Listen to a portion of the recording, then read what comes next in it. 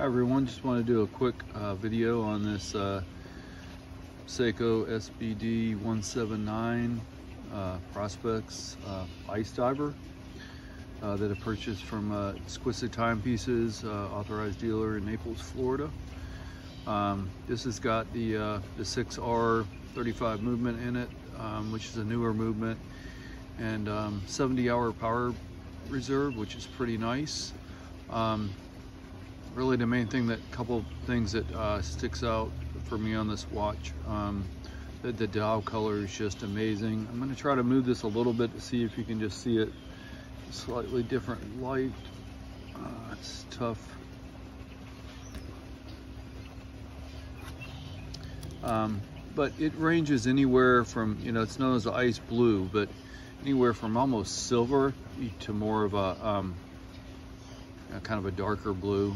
Say not dark blue.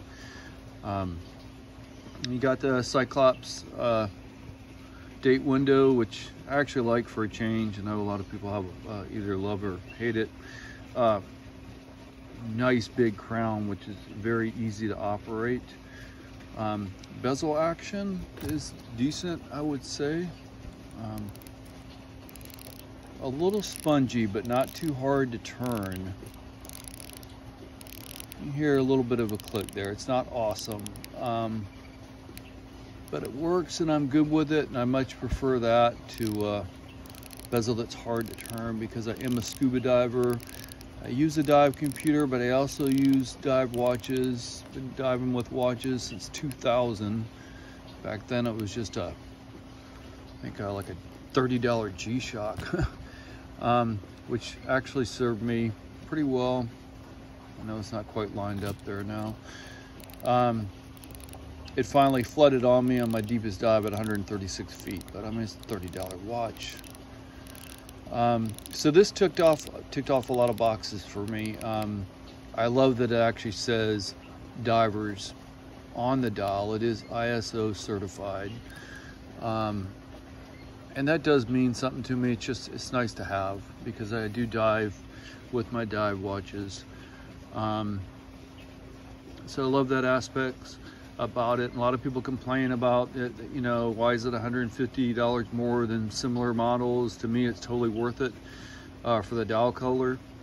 And um, also just the story behind it. I, I watched the uh, Watch Time um, online event they had a couple months ago or so um, uh, with, uh, name escapes me right now, but they actually had an ice diver on that panel that was wearing this watch.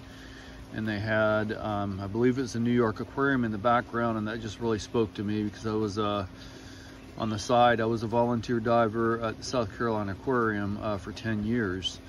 Um, so he's just uh, just really connected with this, and to me, it's it's totally worth the $900.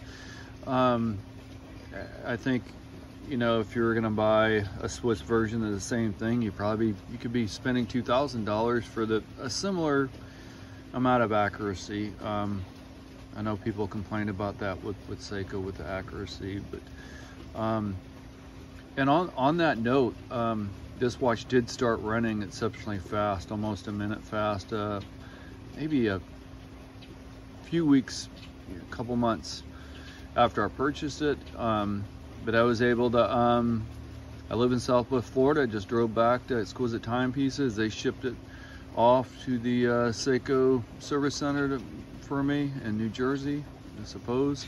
And uh, suppose it just got lucky, but um, it was regulated and back to me in two weeks, which is just amazing.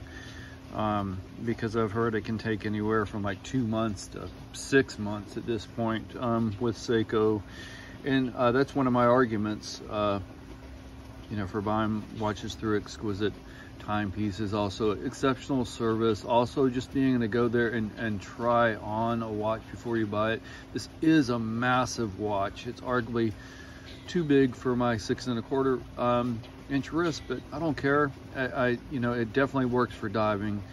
Um, and it is actually fairly comfortable and I've tried it on a rubber strap which trims it down a little bit uh, I'll put on my wrist um, in a minute here um, So it is a big watch, but you know, so you can go in and you know actually try watches on because um, it's, it's tough. You can look at the dimensions online, but it's nice to be to you know have that in-person experience. Uh, try it on the wrist real quick before I do that. I'll show you the case back. Of course, the nice uh, Seiko Wave on there. This is a um, U.S. special edition as well. I thought that aspect was was cool. Um, so here we go. Try this on real quick. There it is, six my six and a quarter inch wrist. So yeah, on the big side, but it works. But most of you probably have larger than six quarter wrists. So okay, thanks everyone.